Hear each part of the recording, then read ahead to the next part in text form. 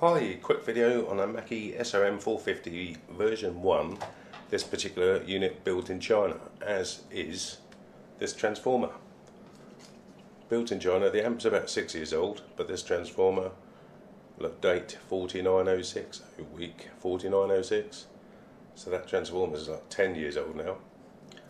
And it's also been made shoddily. I thought this transformer shouldn't be blowing fuses on the primary not at sort of six or even ten years old. Took off the secondary windings, and if I show you first where the mains goes in, see if I'm getting it in the right light. You might be able to see just there above my finger there's a crease. I'll zoom you in a bit.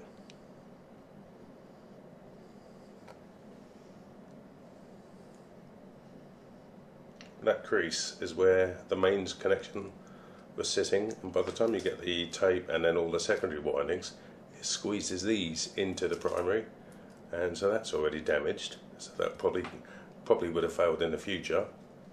But around this side you get the all the secondary winding connections.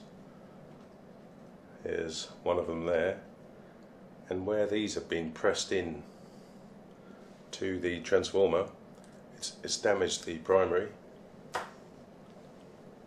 and it's eventually started arcing and blown.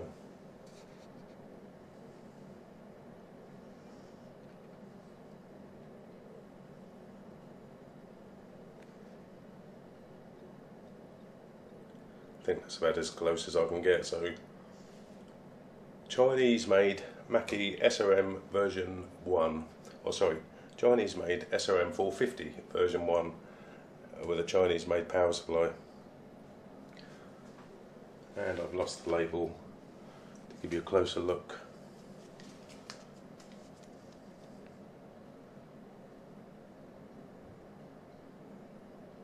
And that's where it's made and that's in China.